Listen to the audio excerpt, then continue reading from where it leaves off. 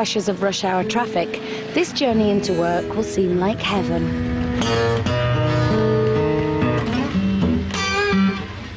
These narrow lanes are a million miles away from the chaos of the city. This is a world where time seems slower. It's a place where traditional craftsmen ply their trades, where quality of life and way of life go hand in hand. This is Easterbrook in Devon.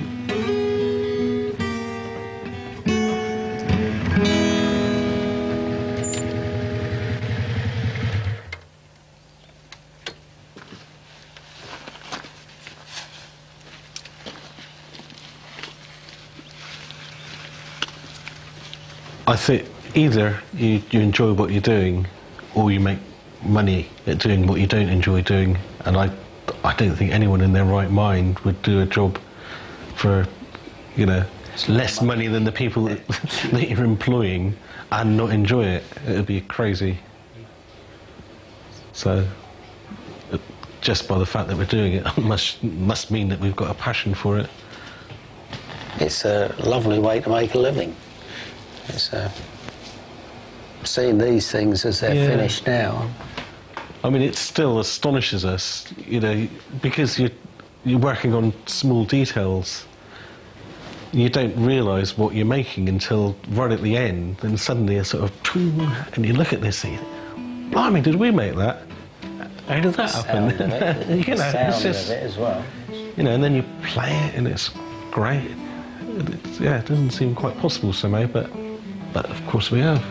Andy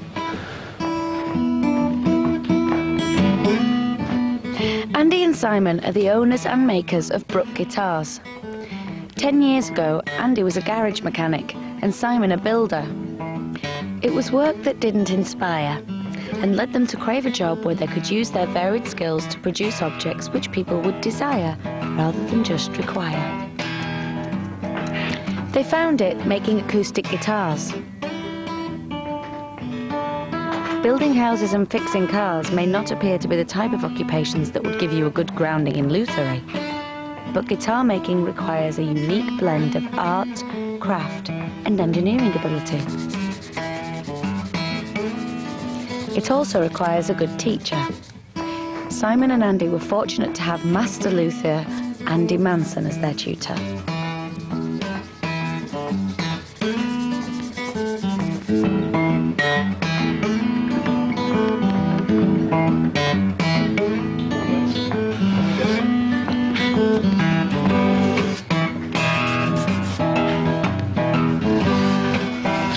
Lucky enough to run across Andy Manson, Yeah. who was willing to share his skills.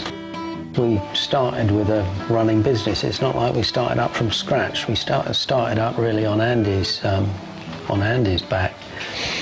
I think it would have been very difficult. I think if we, we'd have met and said, what we're going to do is make acoustic guitars and, uh, and sell them, well, I think we'd be building houses and fixing cars right now. So, you know, Andy taught us, you know, not only the how to make a guitar, but you know, so much else about how you go about selling the things and the confidence you know that you can make a guitar that is you know, a world class instrument that people will buy. Just down the road from Andy and Simon is the workshop of a legend, a man who within his field has gained worldwide respect.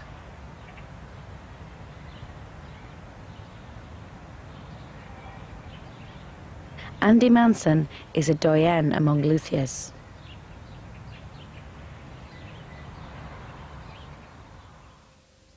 His custom-made guitars have been played by some of the world's top musicians. Sting, Jimmy Page and John Paul Jones are among those who own a Manson. Guitar making is a solitary profession, and Andy has always preferred to work alone. But in 1990, he was persuaded to expand his business. one of my customers came along and uh, decided to throw some money my way and uh, expand the business. and uh, I was a bit nervous of the whole thing, to be honest, to, to begin with. But he was very persuasive and encouraging, and I thought, oh well, let's give it a go. And so we set up the, the thing at Easterbrook and took on uh, Simon and Andy, who you've met, and uh, just set about getting to grips with the whole thing and how, how we could produce lots of guitars as opposed to one at a time, which is what I've been used to. It was a good a good mix to get together because Andy's very much an engineer kind of person, um, and uh, Simon is is uh, very artistic and a lot of musical background and, and lots of experience with guitars and playing them and so on. And a craftsman also. Um, I think it's a really good mix. I suppose it was about three years we were together down there. And then I found myself being rather frustrated by my role at that point because the guys were competent enough to do the work. I seemed to be doing a lot of management work and, and, and feeling uncomfortable with that whole position, really. So I left them to it and went back to working on my own. I'd come to realise that when you work for a long time acquiring specific skills, you have something which is not actually entirely yours. There's a certain responsibility aspect to it. There feels a need to, to pass it on somehow, to hand it over. Otherwise, you feel kind of trapped with this thing, and if, if you're going to die, uh, that's it. There's something that's stopped which needn't have actually stopped.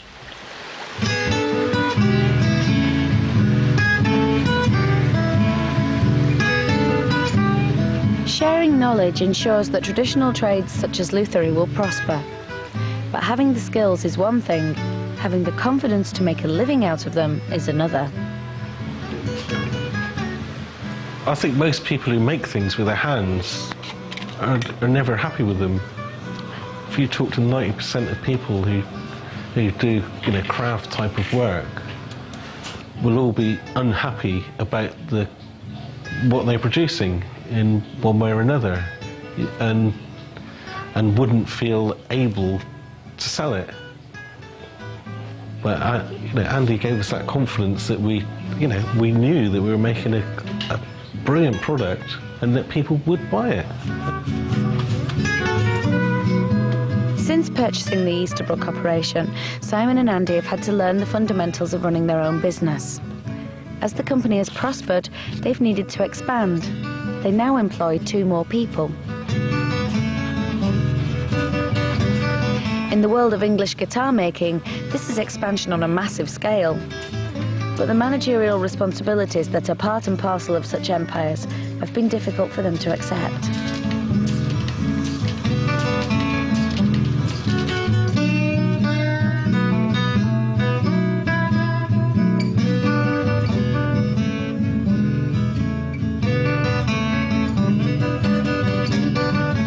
Something that's been forced upon us, really, in the way that uh, it's not what we enjoy doing. And if we want to be making guitars, which is basically what we're about, we have to sell them. So that's it's, the only reason. It's a necessary evil yeah. to allow us to do what we want to do, really. All I want to be doing is making guitars. I don't want to be faffing about on a computer doing the bookwork but it's something that has to be done because if, if the business doesn't survive, then we don't survive and we, we have to go back to doing horrible jobs. Go back to building, go back to... Have to get a job, won't we? Andy and Simon have developed a close working relationship. They have a mutual understanding which is particularly evident in their work. They assess the quality of each guitar at every stage of production. They may not have the procedures of large multinationals, but their quality levels are quite simply second to none. it's just heavier around the heel and a bit more around the heel and just still looks a little bit green, doesn't it, with it? I don't know if it's just... I think when you've darkened it up... Spurned on by a love of what they're doing and a dread of returning to their previous professions, they're prepared to make whatever sacrifices they need to to ensure that the company stays afloat. You don't draw a lot of money out of the business, No. Why? No. because we feel it's more important that it stays within the business so that Just the business can build it up. expand. Yeah. Yeah. If If we want to draw out something, um, it would be nice to think that we got the business into such a state that we could draw a decent wage out of it in the future. But at the moment, everything's going back into it, getting more wood. bit of stock, a good selection of finished instruments is, I think, is really important. So that if someone visits the workshop, they've got something to see, not just you know half-finished guitars. Although that you know has its own cost, you know, in, in a lot of ways, it'd be much nicer if that was converted into cash that was in the bank. The other thing is, if we'd have been drawing out a proper living wage, we wouldn't be doing this now because we Gone would under. have gone under. Yeah.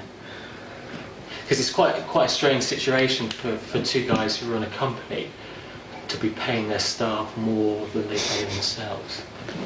Go through why why you pay your staff more than you pay yourself. Because we can't get away with paying them any less.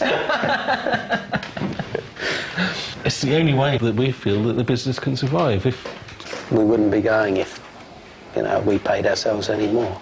And you know, for us, the you know the important thing is Brook Guitars, the you know the business, the company.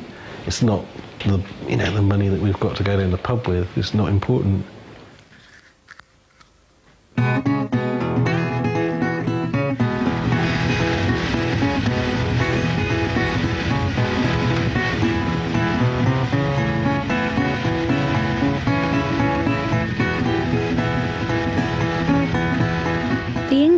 Has a whole host of natural resources that Brook guitars can utilise.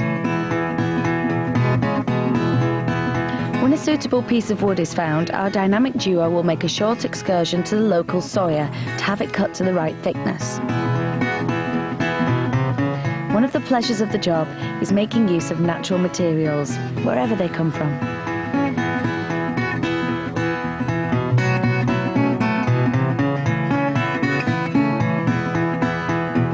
Much local wood as we can use, the better. From walnuts that came down in the gales 10 years ago to local sycamore, come from various places. I've got a guitar at home that I, the back and sides came from a walnut tree that fell down in the park next to where I live. The neck came from a bit of wood that I found in my dad's loft. Very good. And that's, you know, for me, that it's just fabulous. It's, it's just nice. We made the guitar from Ian Anderson from a piece of timber from your Well, next door- neighbour's next door garage. There's a, an old bedpost, Victorian bedpost.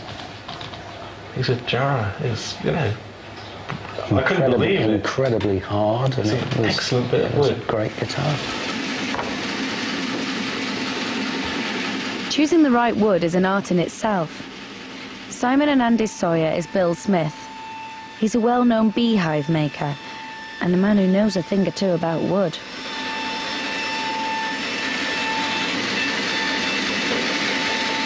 We know that walnut's always going to be nice. We know that Brazilian mahogany is always going to be nice.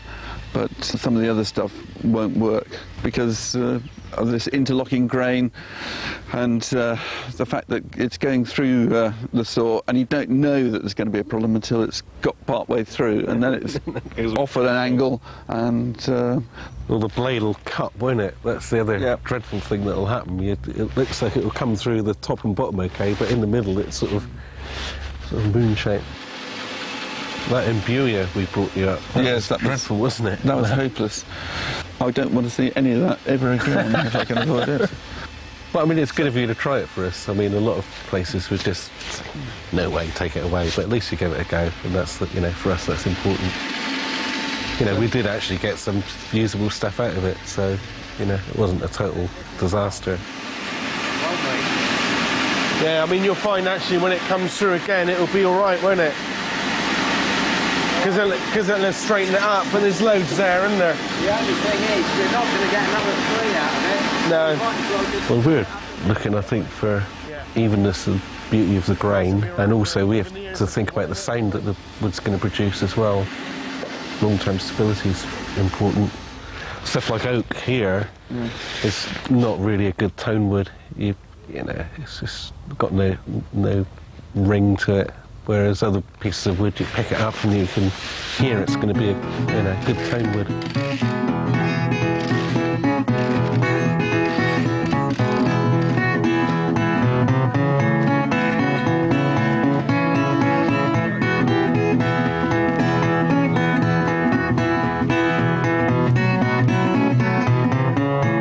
The wood needs to be cut into shape as soon as it gets back to the workshop. This will prevent it from warping during the drying process. It can take up to one year for all the wood components to dry out before assembly can begin.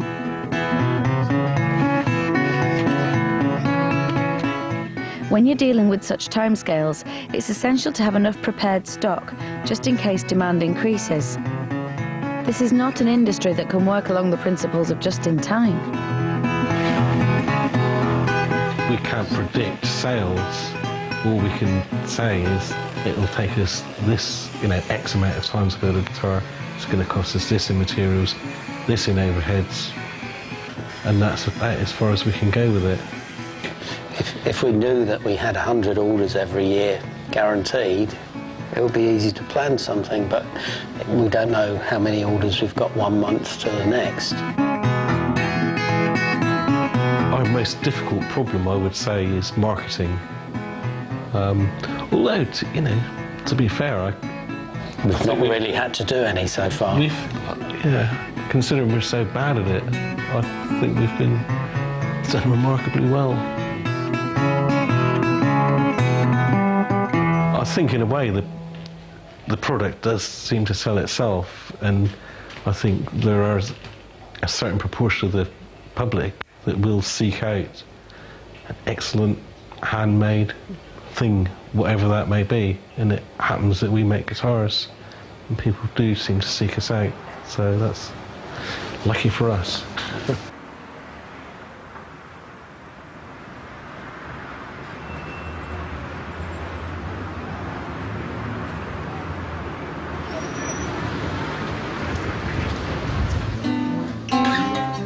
When Simon and Andy have made sufficient stock, they'll get on the road to sell it to shops like Hank's in London's Denmark Street. The guitar market has tended to be dominated by big American brands like Gibson, Martin, and Taylor. But the demand for English handmade guitars is on the up. The resurgence started probably about five to ten years ago on the British-made guitars. I mean, there's a lot of fine British luthiers out there. Uh, the difference now is that the woods are getting very, very rare, and there's a premium for each wood. I mean, there's Brazilian rosewood, which is a very, very difficult wood to get hold of. It's banned all over the world. Uh, you can't import Brazilian rosewood. The woods they use on handmade instruments are usually far superior to what they use on production line instruments. If you can go out and get a solid wood guitar now, do, because it's going to be worth an absolute fortune in, say, 10 to 15 years' time. Because a lot of the stuff then will be compounds of wood, plywood guitars, all solid plywood guitars. Even Martin themselves have tried a, a completely new concept guitar which doesn't actually involve any wood at all. It's a shame in a way that the production companies that don't concentrate as much on making the instruments as well as the, the handmade stuff can afford to, you know, pay their staff so well. And there's these little little guys out in the sticks in their little thatched cottages and in their, their tiny little sheds producing instruments that will sell the world over. They can't afford to advertise them. It's all done by word of mouth. It's nice that, you know, when a customer leaves the shop, they've made that choice against all the other obstacles that have been put in their way. They've chosen the British handmade. I think it's a real credit to, to guitar luthiers. I'll stick, I'll stick the kettle on. Keith and Eve. Hi there. Hi, Eve. Andy, are you? I'm Andy. Nice to meet you. Hi, Keith. Okay. Hi there. So, here we are. You found us okay? Oh, not too bad. Yeah, one little uh, mishap because I went into the little agricultural garage just down there. Oh, not too bad then. With a Brook customer, Excellent. they usually come with their partners. They usually put up outside in either a Range Rover or something from out of town. They don't often beeline the Brook as the first instrument they're going to pick up. They will usually pick up the American glamour boys like the Martins or the Gibsons. Um, then they'll carefully work through. They'll try the Lowdens and they'll try a Manson and then they'll try the Brooks. And once they're, they're settled down, they'll get more into the instrument. And you can see there's a beaming smile on their face. They're kind of whispering sweet nothings to their partner, and the partner likes it. And if you can get the partner to like it, you're three quarters of the way there. I just like the colours and they're like silly. The colours. you don't mind what, what sort of guitar it is as long as it's the right colour. Well, I wouldn't have a clue, really. As long as it's not red. You, you think, oh my God, that's very I clever. just think you can't possibly go wrong. You've got so many choices. Just keep going there. okay, well, this is uh, another tabby, but um, When you say no, that's the same as the first one. Yeah. But it doesn't have the gold And- hardware.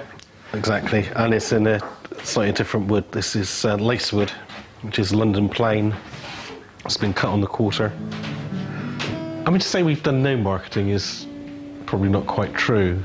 We often we try and send guitars in for review in the music press whenever we can.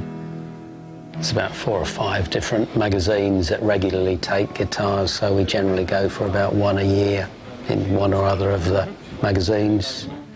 We're mentioned in buyer's guides at the end of these magazines, which you don't actually have to pay for. I'm sure you know about. Which uh, review was it? Um, Let me see, was it the Torridge and Tamar? yeah, this one? that's, yeah. that's it there, yeah. Well, I was sort of edging towards the old 12 string, but um, and I did have a couple out of young. That's one advantage, I think, of this, the, the location here is that people have got to be serious, reasonably serious anyway, before they come to visit you.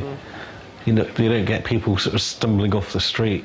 Oh, oh, guitar makers, yeah, we'll just pop in here and have a look.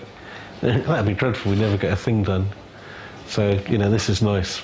You know, people who want to find this can find this, but people who are not really that fussed don't bother to come out. So that works really well, I think, doesn't it?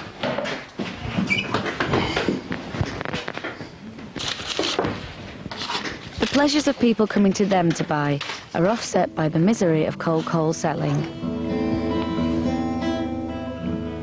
It's fun having people in ordering guitars because there's a lot of contact and you know you play guitar with whoever's coming looking around the workshop. There's a lot of fun in that. So I mean that I mean that is part of the sellings. But uh, as for going around the shops and uh, phoning around, it's I think the main problem is the, the main problem as I feel about it when you're doing what you might think of as like cold selling, which is often what you're doing when you're getting on the phone sending brochures, is that because you've put so much of yourself into the instrument, being told no, I don't want one, it's like you know it's incredibly personal.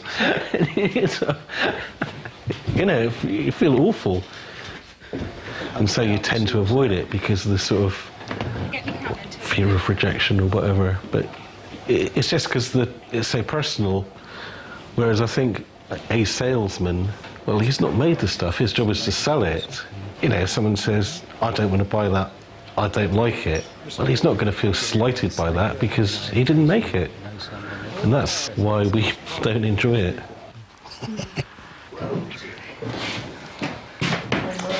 long as you're happy. Yeah, I. Well, Thank you very much. We were thinking of going to the States to get them. Really? Yeah. That's a bit closer, isn't it? That's. When the money is saved, you can buy a travel guitar. Easy. He's saved now. No, he's going to treat you. Oh, we were going on that cheap flying drive thing. I know, but you've saved some money now. Excellent. Okay, thank you.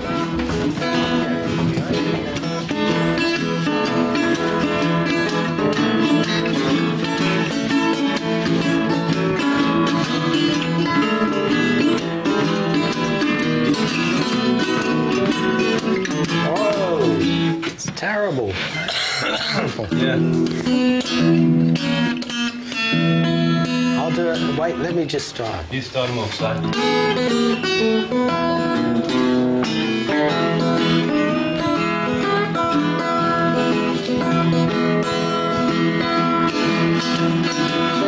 It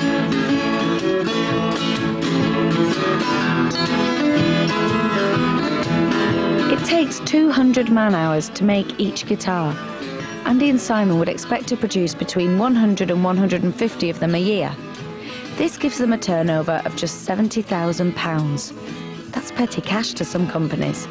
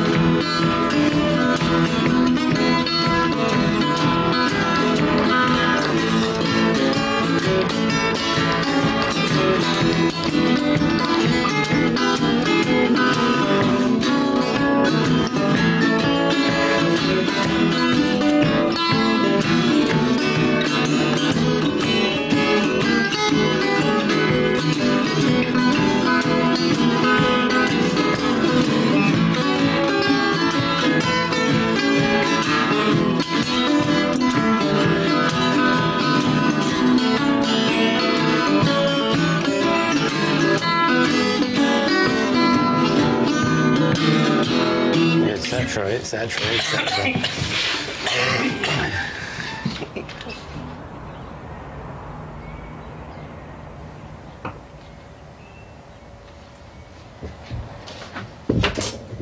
For Andy Manson, a misguided adventure into the world of publishing led to bankruptcy. But years living and working as a luthier has taught him how to survive and continue working against the financial odds. If you were to go to a professional business advisor, you know, he, again, he'd probably say to you just what I said. You know, forget guitar making. You want to be in business, do something sensible. These days, business is largely focused on profit as opposed to product or service. So really, you've got to. I think you've got to run your business probably um, in spite of your work. You see what I mean? You've got to find. You've got to be determined about about the work itself, and somehow try and make the business fit that.